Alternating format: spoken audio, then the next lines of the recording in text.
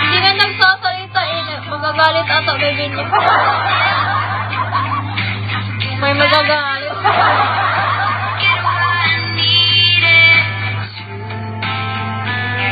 Uy, ma magagalit yung baby niya.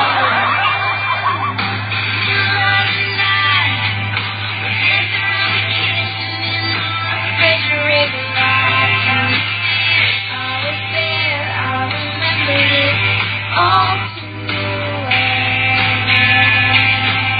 are you